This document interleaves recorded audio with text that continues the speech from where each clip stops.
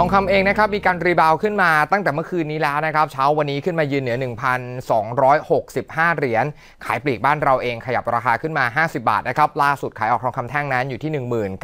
19,950 บาท แม้ว่าค่าเงินบาทยังคงอยู่ในโซนที่แข็งค่าก็ตามนะครับนักวิเคราะห์จะแนะนำกันอย่างไร เช้านี้คุยกับคุณนัททีจุธาวรากุลครับประธานเจ้าหน้าที่บริหารบริษัท Classic Gold Futures ครับสวัสดีครับคุณนัทครับ วัสดีค่ะ ครับผมสถานการณ์ความตึงเครียดที่เกิดขึ้นระหว่างเกาหลีเหนือและอเมริกาเช้าวันนี้ฉุดตลาดหุ้นลงมานะครับ พอจะเป็นปัจจัยบวกให้เข้าไป follow buy ทองคำได้บ้างไหมครับคุณนัท ค่ะก็สำหรับประเด็นความตึงเครียดที่มากขึ้นครันะบระหว่างสหรัฐกับทางเกาหลีเหนือนะก็จะเห็นได้ว่าก็เป็นตัวหนุนแล้วก็ทำให้ราคาทองคำก็ประคองตัวในระดับสูงนะมีการดีดตัวขึ้นมาหลังจากที่เมื่อวานนี้ตัวเลขเศรษฐกิจสหรัฐตัว job opening นะคะจะเห็นได้ว่าดีกว่าคาดนะคะแล้วก็ทำให้ราคาทองคำมีการปรับตัวลงนะคะก็มีแรงเทขายทำให้ปรับตัวลงมาทำโลบริเวณ1,250 นะครัคะบก่อนที่จะมีประเด็นบวกจาก ทางด้านอ่าสหรัฐแล้วก็เกาหลีเหนือที่มีความตึงเครียดมากขึ้น ก็เลยทำให้ราคาทองคำดิดตัวขึ้นมาได้นะแต่ว่าเรายังมองว่าราคาทองคำยังคงเคลื่อนไหวในลักษณะที่เป็นไซด์เวย์นะแล้วก็มีแนวต้านหลักๆ ที่บริเวณ 1,267 แล้วก็ 1,275 เหรียญเยสดอลลาร์นะคะ ก็แนะนำนักลงทุนว่าในณในณปัจจุบันนะคะก็ ถ้าคนอยากจะเข้ามาซื้อนะคะรอราคาทองคำย่อตัวลงมาบริเวณแนวรับอีกครั้งถึงจะแนะนำเข้ามาซื้อนะคะ แต่ว่าจุดนี้นะคะ ก็อยากจะให้นักลงทุนที่มีลองอยู่นะคะดูว่าที่บริเวณแนวต้าน 1,267 แล้วก็ 1,275 จะครับสามารถผ่านได้ไหมนะคะ ถ้าเกิดว่ายังไม่สามารถผ่านได้นะ อาจจะ ทยอยแรงมาก่อนนะเพราะว่าโอกาสที่จะมีแรงขายปรับตัวลงอีกครั้งยังมีนะคะ แล้วเราก็ยังมองว่าราคาทองคำน่าจะยังคงเซเว่ในกรอบ 1,250 จนถึง 1,275 ในช่วงนี้นะคะ แล้วก็รอปัจจัยใหม่ๆนะไม่ว่าจะเป็นตัวเลขเศรษฐกิจสหรัฐในสัปดาห์นี้นะคะ แล้วก็ ตัวถ้อยแถลงสมาชิก FOMC ท่านต่างๆนะซึ่งก็อาจจะต้องติดตาม เพราะว่ามีหลากหลายท่านในช่วงสัปดาห์นี้ในช่วงปลายสัปดาห์นะก็อาจจะทำให้ราคาทองคำเคลื่อนไหวผันผวนได้นะคะ แต่ว่าทั้งนี้ทั้งนั้นนะคะอ่ากรอบราคาทองคำอย่างที่บอกแนวรับ 1,255 เหรียญแล้วก็ 1,250 เหรียญยูเอสดอลลาร์นะคะแต่ว่าก็ต้องมีจุด stop loss สำหรับนักลงทุนที่เข้ามาซื้อบริเวณแนวรับนะที่ระดับ 1,247 เหรียญนะถ้าหลุดบริเวณนั้น ก็ราคาทองคำก็จะแกว่งตัวลงไปในลักษณะที่เป็นไซด์เวย์ดาวน์อีกครั้งได้นะคะ ส่วนแนวต้านของราคาทองคำนะ1,267แล้วก็1,275เพราะว่าภาพรวมนะถึงแม้ว่าจะมีประเด็นบวกจากอ่าความตึงเครียดของเกาหลีเหนือนะแต่ว่าประเด็นทางด้านกองทุน SPDR นะยังคงเป็นประเด็นหลักที่ถือว่ายังคงมีแรงขายออกมาอย่างต่อเนื่องนะคะอืมเดือนที่แล้วก็ขายออกมาเกือบร่วม 60 ตันนะคะอืมก็ถือว่าเป็นเป็นจุดที่ทำอ่ายังคงกดดันราคาทองคำในภาพรวมทำให้การปรับขึ้นของราคาทองคำอาจจะไปได้ยังยังไม่ไกลนะนะครัคะบผมแต่ว่า ทั้งนี้ทั้งนั้นอ่าถ้าเรามาดูกันราคาทองคำในประเทศนะคะครับเราให้กรอบแนวรับนะคะอยู่ที่ระดับ19,700บาท แล้วก็แนวต้านอยู่ที่ระดับ2,100บาทค่ะ อืมครับผม SPDR ที่เหมือนจะขายต่อเนื่องในช่วงนี้นี่เกิดจากอะไรครับ นักลงทุนไม่อยากที่จะถือครองทองคำแล้วอย่างนั้นเหรอครับ คุณนัทครับ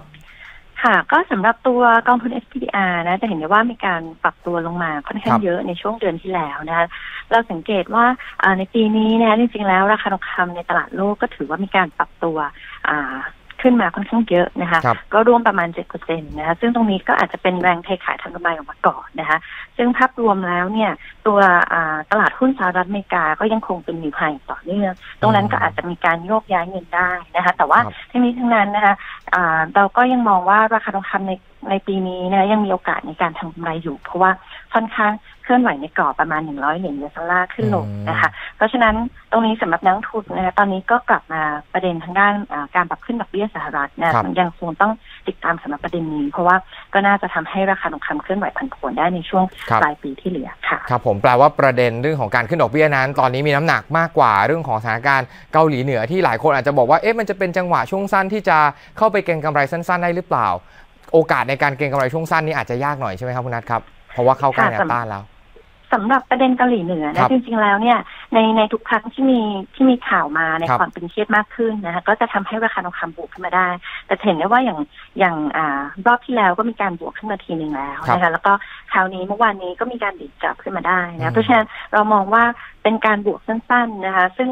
ซึ่งถ้าเกิดว่าจะเข้ามาส่งผลบวกต่อ ก็ยังคงต้องต้องอาศัยความตึงเครียดที่มากขึ้นกว่านี้ด้วยค่ะ ครับผม เพราะฉะนั้นช่วงสั้นก็ต้องจับตาตรงแนวต้านก่อน 1,267 เหรียญไม่ผ่านอาจจะต้องขายออกไปก่อน ช่วงนี้แนะนำฝั่งไหนดีครับ ถ้าคนที่ยังไม่มีโพซิชันเนี่ยจะเริ่มต้นด้วยฝั่งช็อตหรือว่าฝั่งลองน่าจะดูปลอดภัยกว่าครับคุณนัทอ่า สำหรับสั้นๆนะคะ เราอาจจะแนะนำว่าให้นักลงทุนรอราคาทองคำย่อตัวลงมาบริเวณแนวรับนะคะครับก็ค่อยเข้ามาลองอาจจะปลอดภัยมากกว่า แต่ว่าทุกอย่างก็ต้องมีจุด stop loss ด้วยค่ะอืมครับผม ค่าเงินบาทที่อยู่ในโซนที่แข็งค่าขึ้นแบบนี้ จะเป็นปัจจัยที่กดดันให้ขายปลีกในบ้านเรา ราคาไม่ค่อยขยับไหมครับคุณนัทค่ะ ก็จากค่าเงินบาทที่แข็งค่านะจะเห็นได้ว่าราคาทองคำในประเทศก็ถือว่ามีการปรับตัวขึ้นไม่ได้เท่าตลาดโลกอยู่แล้วนะในช่วงนี้ แต่ว่าทั้งนี้ทั้งนั้นนะเราก็ยังมีเกาะ แกลบในการทำกำไรได้นะสำหรับราคาทองคำในประเทศ ถึงแม้ว่าการปรับขึ้นอาจจะน้อยกว่าตลาดโลก อาจจะทำให้การเบี่ยงของราคาทองคำในประเทศอยู่ที่ 50 บาทร้อยบาทอืนะมก็ต้องอาศัยแกลบตรงนี้ให้ดีค่ะอืมครับผมได้ครับ วันนี้ขอบพระคุณมากเลยครับ คุณนัทครับ สวัสดีครับนั่นคือกลยุทธ์นะครับจากทางด้านของคลาสสิโกนะครับแนะนำกันเอาไว้ครับ ถ้าเกิดว่าฝั่งที่ปลอดภัยเนี่ยก็คือยังไม่ต้อง follow buy นะครับคุณผู้ชมครับ เพราะว่าตอนนี้เนี่ยราคาเข้าใกล้แนวต้านแรกแล้วนะครับแนวต้านแรกนั้นอยู่ที่ 1,267 เหรียญนะครับซึ่งก็ใกล้มากนะครับวินาทีปัจจุบันใน 1,265 เหรียญถ้าตรงนั้นไม่ผ่านต้องขายออกมาก่อนนะครับต่อให้ผ่านคุณนัทบอกว่าแนวต้านใหญ่แนวต้านหนึ่งจะอยู่ที่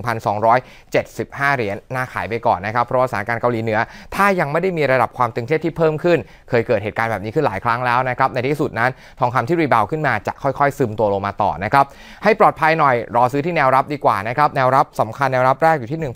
1,255 เหรียญแนวรับต่อไป 1,250 เหรียญแต่ต้องมีจุด stop loss ด้วยนะครับที่ระดับ 1,247 เหรียญนะครับส่วนถ้าเกิด convert มาเป็นขายปลีกในบ้านเรานะครับกรอบการลงทุนในช่วงนี้อยู่ที่ 19,700 เหรียญจนถึง 20,000 กับอีก 100 เหรียญต่อบาททองคำนะครับ